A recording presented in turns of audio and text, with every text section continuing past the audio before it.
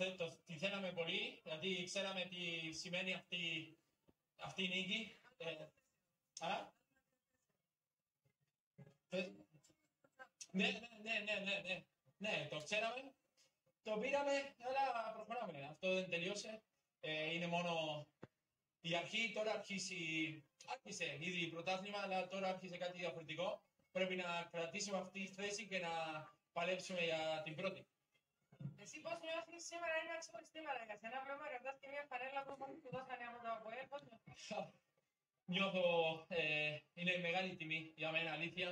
Ε, σήμερα που είναι η μέρα του ε, Valentine Day, ε, νιώθω ότι αυτή ε, η σχέση που έχω μαζί με το ΑΠΟΕΛ είχε χαρούμενη και όχι τόσο χαρούμενη, αλλά ε, παραπάνω ήταν χαρούμενη όπως σε σχέση. Όλα, όλα, όλη η σχέση είναι έτσι.